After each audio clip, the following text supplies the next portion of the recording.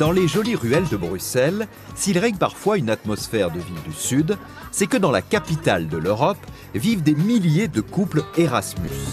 Nous en avons rencontré deux avec leurs enfants. Maria est italienne, Bruno est français. Il y a 20 ans, ils étaient tous les deux en Erasmus en Angleterre, quand un coup de foudre les a réunis. Je n'étais jamais sortie de chez moi. J'avais 22 ans, c'était ma première expérience à l'étranger. Et je rencontre ce Parisien qui vient avec sa moto, sa mèche longue. Mais donc, comment je pouvais ne pas résister?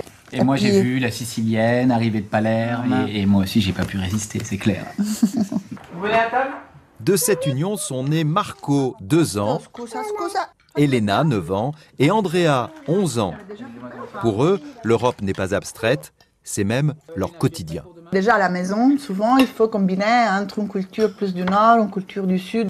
C'est des enfants qui déjà, sans, de- sans sortir de chez eux, se sont déjà ouverts à la différence culturelle, à accepter les autres.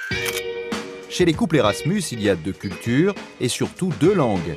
Olivier est belge, Barbara espagnole. Ils se sont rencontrés à Séville il y a 10 ans.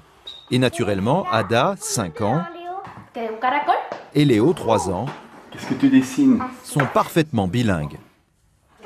Chacun parle sa propre langue avec, Voilà. les, avec les enfants. Voilà. Et puis Et après- entre nous, bah, ça. et entre nous, ça peut varier.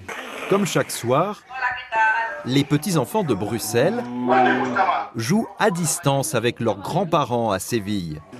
Hey, Mania. Un lien indispensable pour que ces petits Belges n'oublient pas qu'ils sont aussi espagnols. Ça passe par, euh, par les voyages en Espagne, par euh, rester euh, avec mes parents, jouer avec euh, les cousins, qu'ils puissent aussi avoir des, des souvenirs aussi par rapport à l'Espagne. Et parce qu'ils ont deux cultures, les enfants des couples Erasmus n'ont en fait qu'un seul et même pays, c'est l'Europe entière. Les enfants, ils sont habitués à aller voir euh, des amis à Londres, à aller voir nos cousins à Paris, en Sicile. Ça, ça leur offre une ouverture incroyable. Je me dis que j'ai de la chance d'avoir des parents comme ça et euh, j'ai appris de langues grâce à eux et je pourrais apprendre de langues aussi à mes enfants. Et tu aimerais toi aussi que ta future femme vienne d'un pays étranger? Ouais, ça me, ça me plairait aussi.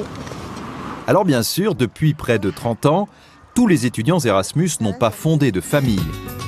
Mais ceux qui l'ont fait savent qu'ils ont apporté une pièce au puzzle du sentiment européen.